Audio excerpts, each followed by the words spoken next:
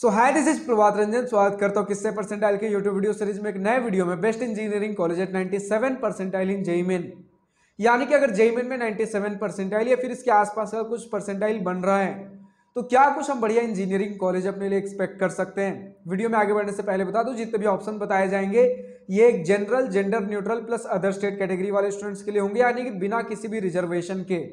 अगर आपके पास कोई रिजर्वेशन है तो रिलेवेंसी के हिसाब से अपना थोड़ा सा और इम्प्रूव कर सकते हो और कुछ बेटर कॉलेजेस आपको देखने को मिल सकते हैं बेटर ऑप्शंस देखने को मिल सकते हैं। बट फ़िलहाल अगर इस वीडियो में हम देखेंगे सबसे पहले कि किस प्रकार के आपको कॉलेजेस मिलेंगे और उसी के साथ हम डिस्कस करेंगे कुछ दस एग्जाम्पल्स भी। तो सबसे पहले अगर हम बात कर ले तो हमें देखने को मिलता है ट्रिपल आईटी रांची और ट्रिपल आईटी कोट्टयम में सीएससी यानी कि जो हमारे कुछ इस प्रकार के कॉलेजेस बात कर लीजिए, इस प्रकार के ट्रिपल आई की अगर बात कर लें जो कि मिडिल में भी नहीं आते मिडिल से थोड़े से पीछे ही आते हैं, लेकिन बिल्कुल आप पीछे वाले ट्रिपल आई भी नहीं कह सकते। लेकिन ठीक है, बिल्कुल पीछे वाले से लेकर लगभग जो हमारे मिडिल वाले ट्रिपल आई है, उनके बीच का लगभग हमारा ट्रिपल आईटी देखने को मिलता है, जो कि अभी रिसेंटली डेवलप हुए हैं बट थोड़ा बहुत ग्रोथ एक अच्छा खासा उन्होंने दिखाया है।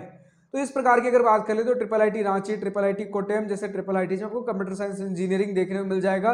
और जितने भी कॉलेजेस बता रहा हूँ, सभी का रिव्यू वीडियो ऑलरेडी अपलोडेड है हमारे चैनल पर। तो अगर किसी भी कॉलेज में एडमिशन लेने का सोच रहे हो, उससे पहले उनका डिटेल रिव्यू चेकआउट कर सकते हो हमारे चैनल से।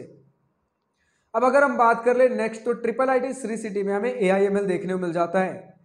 तो ये वही सारे कुछ ऑप्शंस आपको देखने को मिल गए। जैसे हमने triple IT Ranchi triple IT Kottayam देखा, उसी सारे कुछ रेंज में ट्रिपल आईटी थ्री सिटी वही आपको कंप्यूटर साइंस जैसे ब्रांचेस ही देखने को मिल रहे हैं। ए आई एम एल जैसे ब्रांचेस की अगर हम बात कर ले computer science engineering A I M L तो जिस लीग के बारे में मैंने बताया कि मिडिल वाले ट्रिपल आईटी से लेकर जो पीछे वाले ट्रिपल आई इनके बीच का कुछ ट्रिपल आईटी बोल सकते हो, रांची कोटेम श्री सिटी में हमें कुछ इस प्रकार के ऑप्शन देखने को मिलते हैं। फिर इसी के साथ आपका एक ट्रिपल आईटी भुवनेश्वर भी है, जिसमें भी यार आपको आराम से कंप्यूटर इंजीनियरिंग देखने को मिल जाएगा, जो कि एक्चुअली जोसा में हमें ट्रिपल आईटी के सेगमेंट में नहीं मिलता जीएफटीआई के सेगमेंट में मिलता है लेकिन नाम इनका ट्रिपल आईटी ही है। तो ये ऑप्शन भी हमें देखने को मिल जाता है। देन अगर बात कर लें एनआईटी में अगर कंप्यूटर साइंस इंजीनियरिंग चाहिए तो आपको नॉर्थ ईस्टर्न एनआईटी में जाना पड़ेगा, जिसे आप नीचे का एनआईटी बोलते हो, पीछे का एनआईटी बोलते हो। तो एनआईटी नागालैंड हो गया एनआईटी मिजोरम हो गया, इनमें आपको कंप्यूटर साइंस इंजीनियरिंग देखने को मिल जाएगा। फिर अगर हम बात कर ले इलेक्ट्रॉनिक्स एंड कम्युनिकेशन इंजीनियरिंग मतलब कि अगर हमें कॉलेज थोड़ा और बेटर चाहिए ब्रांच थोड़ा सा अगर नीचे भी चलेगा तो चलेगा, लेकिन हमें कॉलेज थोड़ा और बेटर चाहिए। तो आप ट्रिपल आईटी गुवाहाटी देख सकते हो, जो कि काफ़ी अच्छा हमारा ट्रिपल आईटी माना जाता है। बिल्कुल टॉप के एकदम मतलब नंबर वन नंबर टू तो नहीं बोल सकते, लेकिन टॉप के ट्रिपल आई में आता है हमारा। मिडिल से काफ़ी बेटर है हमारा ट्रिपल आई गुवाहाटी में आपको इलेक्ट्रॉनिक्स एंड कम्युनिकेशन इंजीनियरिंग देखने को मिल जाएगा। देन अब अगर मान लेते हैं आपको एनआईटी में चाहिए तो एनआईटी आंध्र प्रदेश में आपको इलेक्ट्रॉनिक्स एंड कम्युनिकेशन इंजीनियरिंग देखने को मिलेगा।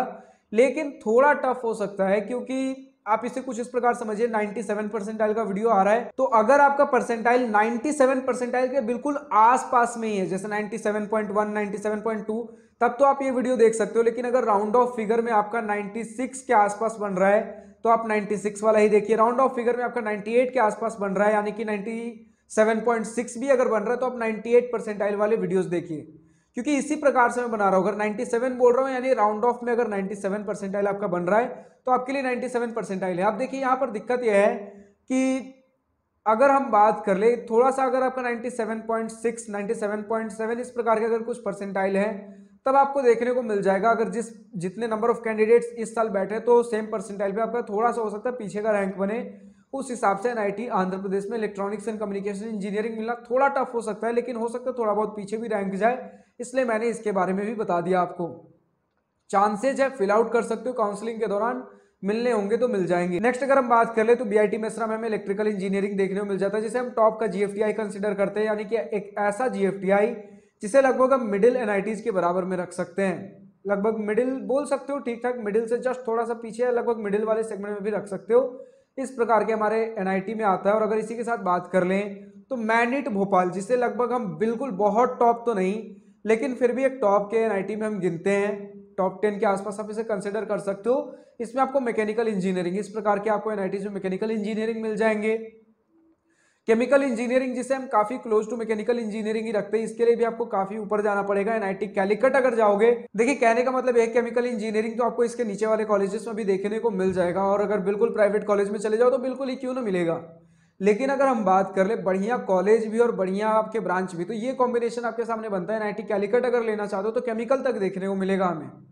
फिर इसी के साथ एनआईटी सूरतकल में अगर जा रहे हैं तो माइनिंग जैसे मतलब जैसे जैसे हम टॉप एनआईटीज की तरफ़ अप्रोच कर रहे हैं तो देख सकते हो ब्रांच के प्रेफरेंस हमारे किस प्रकार के होते चले जा रहे हैं। तो लगभग टॉप के हमारे ट्रिपल आईटी जो बोल लीजिए या फिर टॉप के मिडिल के ट्रिपल आई बोल लीजिए, लगभग हर प्रकार के ट्रिपल आई टी के लिए कुछ जी के लिए हमने बात कर लिया कि किन में इस परसेंटाइल पर क्या कुछ हमें आपके ब्रांचेस देखने को मिल सकते हैं।